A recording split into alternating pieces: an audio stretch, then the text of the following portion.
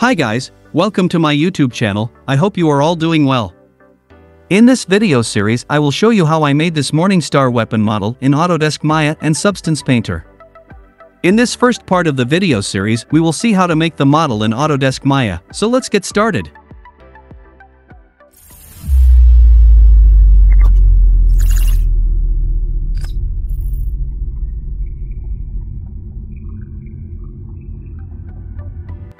So here we are in Maya. First let's import the reference image from the front view. And then adjust it properly, so that we can have clear visibility of the reference image. And then keep this image in a layer and make it as reference, so that we cannot move this image accidentally. Now then, let's start modeling this weapon. Create a sphere and turn on X-ray mode and wireframe mode. And now, move it up, and position it properly with the reference image. Let's keep the sphere in the center of the x-axis, and adjust the reference image accordingly. And now let's create this handle part. Take a cylinder, and now from poly cylinder 1, let's give it subdivision of 10 and then scale it down from the middle to match the width of the reference image, then scale it from y-axis and match accordingly.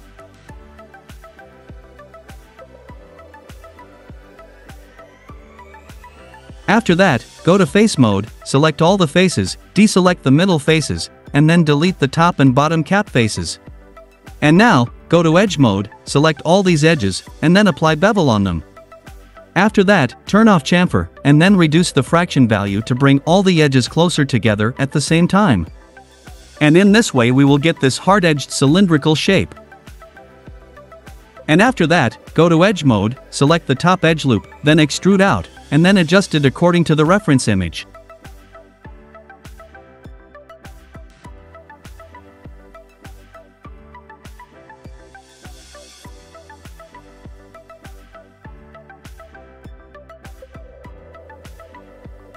And then give supporting edges, by applying bevel on the corner edge loops, to hold the sharp edges.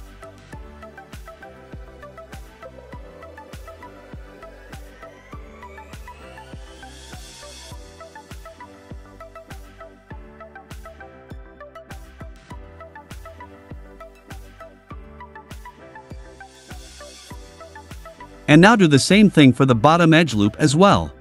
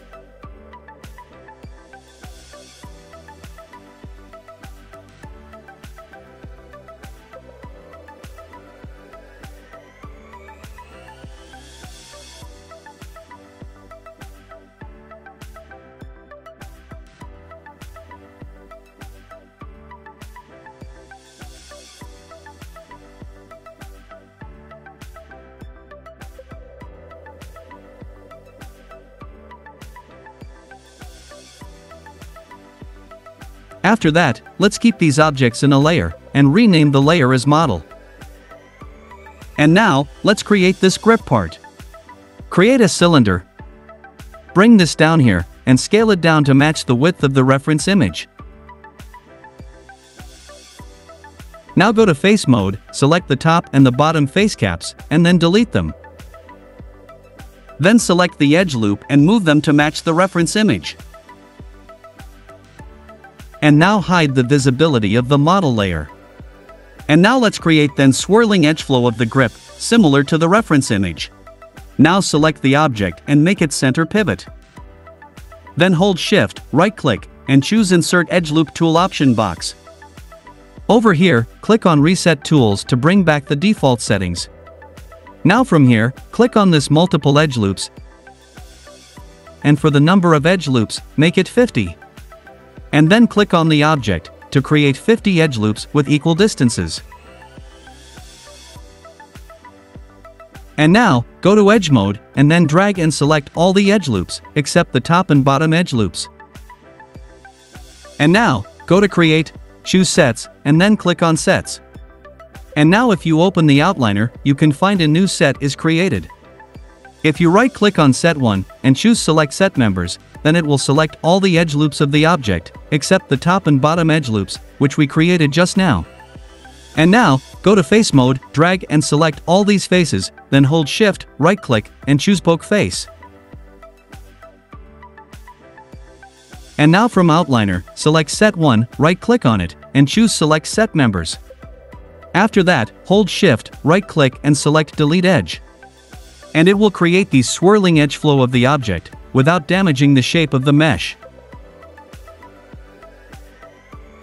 And now, go to Face Mode, and select two simultaneous edge loops like these. And then, apply extrude on them, and give some thickness.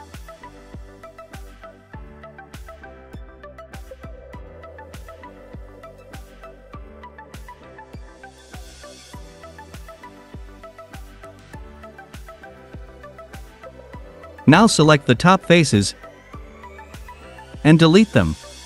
Do the same for the bottom faces as well.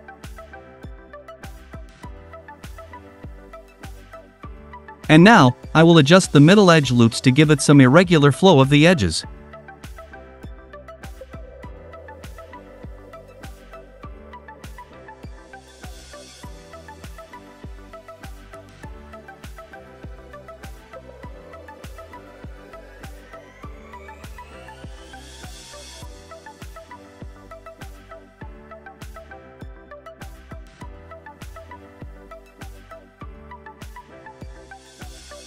And now, let's create these spikes on the sphere. Create a cylinder. Then delete the bottom face cap, and then go to vertex mode, and scale them down from the middle to make it a cone shape.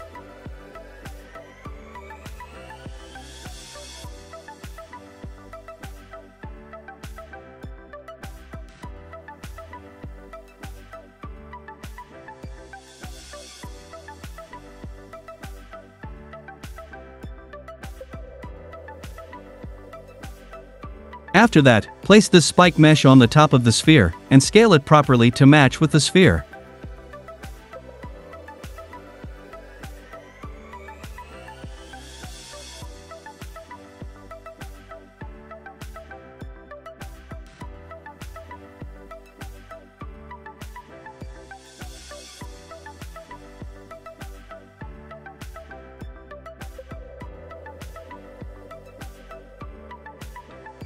And now, after adjusting the height and width of the spike, isolate only the spike mesh, and then set the pivot point at the bottom of it. Then create some edge loops in between.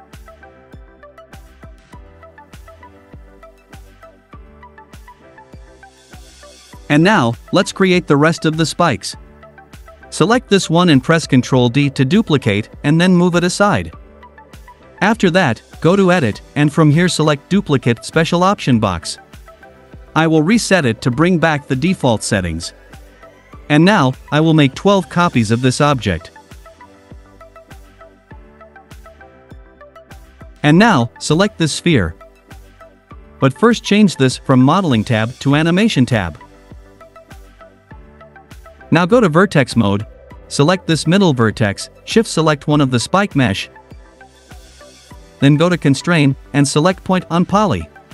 And this will snap the spike mesh to the vertex of the sphere, pointing on the same direction.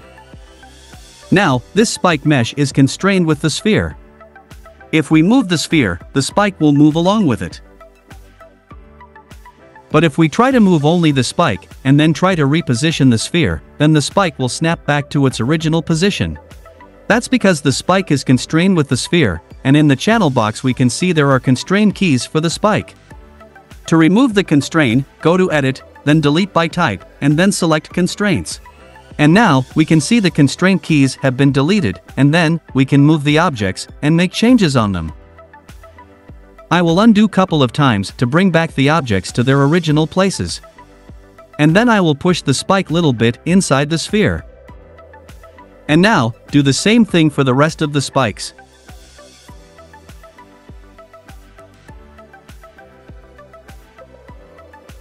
Select one of the vertex, shift select the spike, and press G to repeat the last command.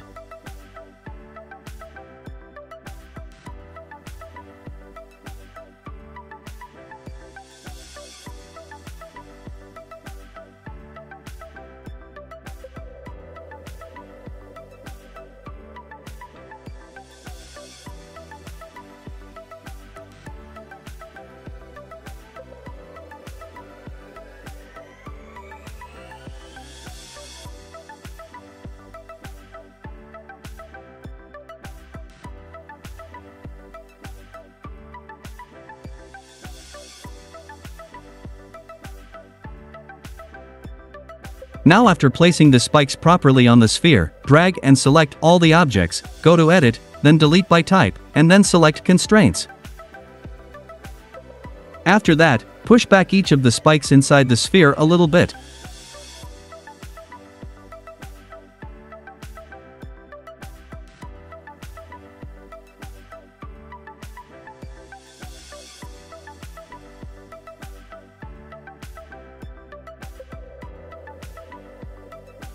The modeling part is complete now.